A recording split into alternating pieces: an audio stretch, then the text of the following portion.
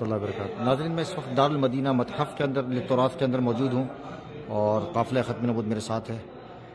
ان کو پورا مدینہ منورہ اور مکہ مکرمہ کا پورا نقشہ اور پوری سیرت اور پوری تاریخ دکھائی جا رہی ہے۔ ایک تو پڑھنا ہوتا ہے، یہ دکھائی جا رہی ہے۔ اور یہ پورا متحف کا نظارہ دیکھ لیں آپ۔ یہ دیکھیں۔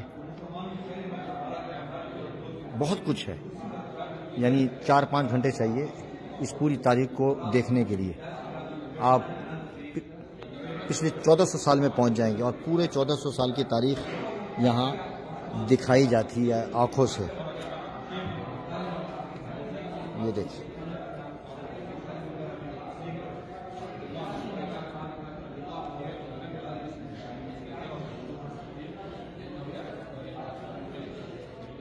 میں ابھی آپ کو جو دکھانے جا رہا ہوں وہ مسجد اقصا کی تاریخ ہے، جو آپ دیکھیں یہ۔ یہ دیکھیں جی یہ مسجد اقصا ہے، اکثر دیکھتے ہیں، لیکن یہ ماڈل ہے مسجد اقصا کا۔ اور یہ مسجد اقصا کی دیوار، یہ پوری آپ دیکھیں۔ یہ پورا پورا آپ احاطہ دیکھ رہے ہیں، جو کہ چوہتر ایکڑ پر محیط ہے۔ سوری، چوہتر نہیں، بلکہ چونتیس ایکڑ پر ہے یہ۔ یہ پورا۔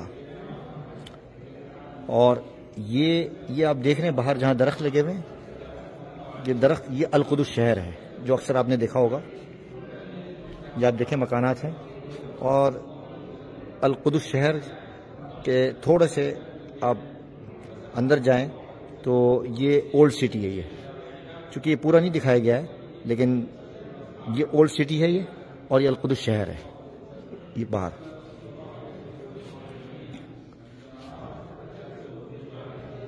یہ پورا اور میں آپ کو اب دکھاتا ہوں۔ یہ سامنے آپ دیکھیں۔ جو دیکھ رہے ہیں آپ سامنے، یہ قبت سخرہ جہاں سے نبی کریم صلی اللہ علیہ وسلم اور حضرت عیسیٰ علیہ السلاۃ والسلام آسمان کی طرف تشریف لے گئے تھے مسجد اقسا کا احاطہ۔ اور اس احاطے میں قبت سخرہ اور اس قبت سخرہ کی یہ جو ڈوم آف دا راک ہے، اس سے حضرت عیسیٰ علیہ السلاۃ والسلام آسمان پر تشریف لے گئے تھے اور نبی کریم صلی اللہ علیہ وسلم معراج شریف پہ تشریف لے گئے تھے۔ اور یہیں سے بتایا جاتا ہے کہ آسمان کا دروازہ ہے اور جنت کا دروازہ بھی یہیں سے کہتے ہیں۔ اور یہ مسجد قبلی ہے جہاں نماز ہوتی ہے۔ حضرت عمر فاروق رضی اللہ تعالیٰ عنہ نے تعمیر کی تھی۔ یہ آپ سامنے دیکھ رہے ہیں یہ والی، مٹیالہ گنبت والی۔ اور اس سے اس طرف آئیں تو میں آپ کو ادھر سے دکھاتا ہوں ذرا۔ یہ مسجد قبلی اور مسجد قبلی کے اس طرف سامنے جو آپ کو مینارہ اور گنبد نظر آ رہا ہے، چھوٹا سا۔ ادھر سے قریب سے دکھاتا ہوں۔ یہ بائیس نمبر جو لکھا ہوا ہے۔ یہ مسجد براق شریف، جہاں انبیاء علیہ الصلاۃ والسلام اور خاص طور پر جب نبی کریم صلی اللہ علیہ وسلم تشریف لائے تھے میرا شریف کے لیے، تو اپنی سواری باندھی تھی۔ اور یہ جو دیکھ رہے ہیں، یہ دیوار براق ہے، یہ ساری۔ جسے یہ ویسٹرن وال کہتے ہیں دیوار گریا کہتے ہیں، دیوار براق ہے۔ اور اس راستے سے نبی کریم صلی اللہ علیہ وسلم یہاں داخل ہوئے تھے یہ آپ دیکھ رہے ہیں۔ یہ راستہ براق شریف باندھا تھا اور نبی کریم صلی اللہ علیہ وسلم پھر وہاں تشریف لے گئے تھے۔ ایک روایت کے مطابق۔ اور ایک روایت کے مطابق مسجد قبلی والی جگہ پہ حضرت نبی کریم صلی اللہ علیہ وسلم نے انبیاء علیہ الصلاۃ والسلام کی امامت فرمائی تھی۔ اور اسی مسجد قبلی کے ساتھ نیچے انڈر گراؤنڈ کے اندر مسجد قدیم ہے۔ اس کمپاؤنڈ کے اندر جو مسجد اقسا کا کمپاؤنڈ ہے، اس کو پورا کا پورا مسجد اقسا کہا جاتا ہے۔ اس کو بھی مسجد اقسا کہا جاتا ہے، اس کو بھی کہا جاتا ہے۔ اور اس کے ساتھ جیسے میں نے بتایا کہ مسجد قبلی کے ساتھ نیچے مسجد قدیم ہے۔ اور وہ جو آپ دیکھ رہے ہیں، سات نمبر۔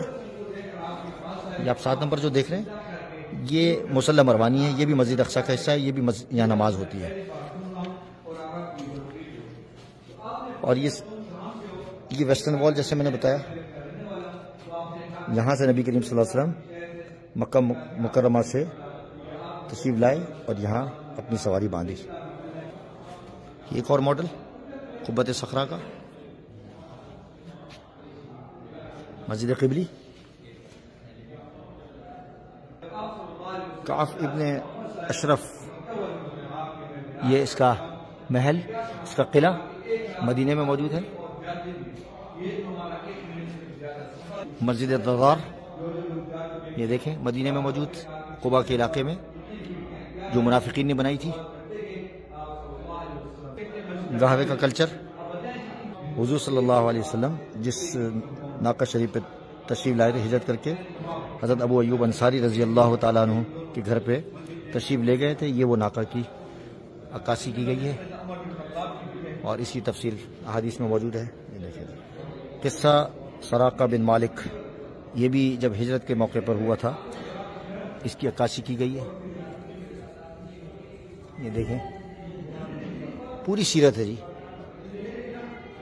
اور یہ گھوڑے کا جو آپ دیکھیں، یہ دیکھ رہے ہیں، گھوڑا آدھا ہو چکا ہے۔ یہ زمین میں دسا دیا گیا تھا۔ اللہ تبارک و تعالیٰ اور نبی کریم صلی اللہ علیہ وسلم کے موضے کی وجہ سے جب نبی کریم صلی اللہ علیہ وسلم حضرت یہ مدینہ منورہ تشریف لے جا رہے تھے، اس موقع پر یہ واقعہ ہوا تھا۔ مشرقین نے ان کو جاسوس بنا کر بھیجا تھا حضور صلی اللہ علیہ وسلم کے پیچھے۔ حضرت عمر فاروق رضی اللہ تعالیٰ کے دور میں جب لاوا مدینہ منورہ میں نکلا تھا، تو حضرت عمر فاروق رضی اللہ تعالیٰ نے اپنا کرتا دیا تھا، جس کی وجہ سے لاوا ختم ہو گیا تھا۔ اکثر مدینہ اس طرف سے آپ دیکھیں، یہ جلا دیا گیا تھا اور جل گیا تھا، یہ خاک ہو گیا تھا۔ آپ دیکھیں اس کے پہاڑیوں کے منظر، اور جب آپ مدینہ منورہ سے ایئرپورٹ سے نکلیں گے تو یہ وہ منظر آپ کو یہاں پیش کیا جا رہا ہے۔ یہ غزوہ احد احد پہاڑی سامنے اور یہ جبل رمات یہ دیکھیں جبل رمات مسلمانوں کا لشکر وہاں تھا۔ یہ شہدائے مسجد بہت سامنے اور حضرت امیرہ حمزہ رضی اللہ تعالیٰ عنہ اور دیگر صحابہ کرام کی یہاں قبریں موجود ہیں مقبرے موجود ہیں۔ یہ آپ دیکھ رہے ہیں۔ اور یہ جبل رمات کے پیچھے خالد بن ولید رضی اللہ تعالیٰ کی فوج پوری، وہ سارے مشرقین منافقین، ان کی فوج، ادھر ادھر مار کا ہو رہا تھا، مسلمان کے خیمے۔ مسلمان یہاں سے آئے تھے اور وہ مسلمان نے خیمے لگائے تھے اور وہ دیکھیں آپ، وہ جنگ چل رہی تھی ادھر۔ اور خالد بن ولید رضی اللہ تعالیٰ دوبارہ وہاں سے، یہاں سے پیچھے سے آئے تھے جبل رماد کے پاس سے اور یہاں پھر پسپا ہوئے تھے مسلمان۔ یہ دیکھیں جی یہ مدینہ منورہ ہے اور یہ آپ یہ دیکھیں مکہ ہے اور یہاں سے حضور صلی اللہ علیہ وسلم نے اس راستے سے سفر کیا تھا۔ مدینہ منورہ کی طرف دو راستے جاتے ہیں مدینہ منورہ کی طرف۔ تو ان میں سے جو ہجرت کا راستہ تھا وہ یہ والا راستہ تھا۔ اور آپ یہ دیکھیں یہ سارے، ساری مساجد ہیں جہاں جہاں آپ دیکھ رہے ہیں۔ مدینہ منورہ کی۔ اور وہ سامنے مدینہ منورہ آپ موجود ہیں اور وہ عہد کی پہاڑی ہے۔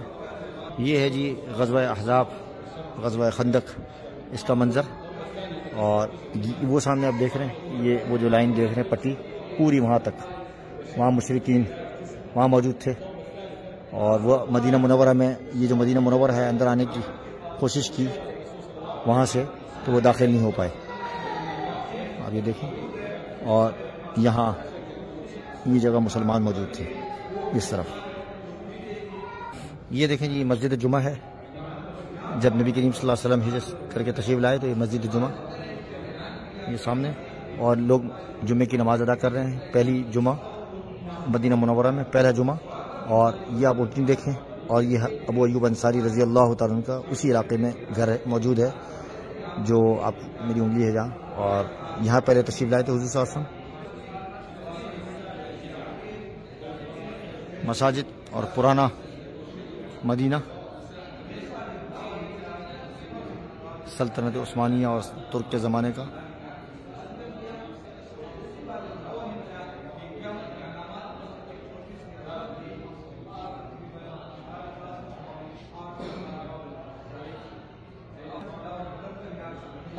یہ مسجد نبی کا ماڈل ہے۔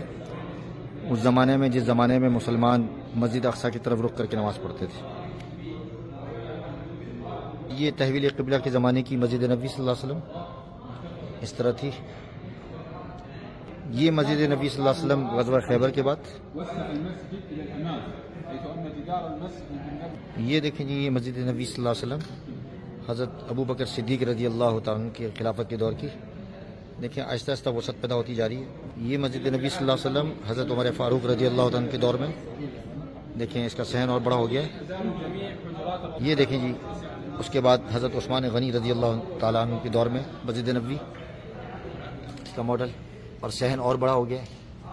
یہ دیکھیں جی ولید بن ملک، عبد الملک کے دور کی مسجد نبی صلی اللہ علیہ وسلم۔ یہ دیکھیں جی مسجد نبی شریف عہد عباسی میں خلیفہ مہدی نے جب یہ تعمیر توسیع کی تھی۔ یہ دیکھیں جی مسجد نبی شریف مملوکی دور کی۔ اور اب آپ دیکھیں یہاں گنبد بننا شروع ہو گئے۔ دو گنبد نظر آ رہے ہیں آپ کو۔ اور یہ پہلا گنبد ہے جو سفید ہے، جس جس میں گنبد خزرہ ہم کہتے ہیں۔ لیکن اس زمانے میں سفید تھا، یہاں تک۔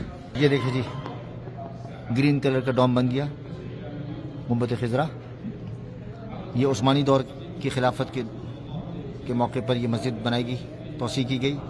اور یہ آپ دیکھیں سامنے سین کے اندر، یہ باغ اس وقت کھجور کے درخت بھی موجود تھے۔ یہ دیکھیں جی مسجد نبی ملک عبدالعزیز کے دور کی۔ یہ مکمل ہو گئی کامل اور گنبد خزرہ صحن دو صحن نظر آ رہے ہیں آپ کو۔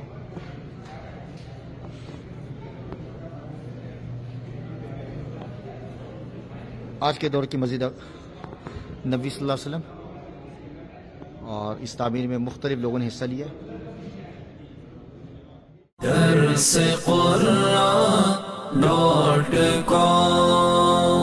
www.dasquran.com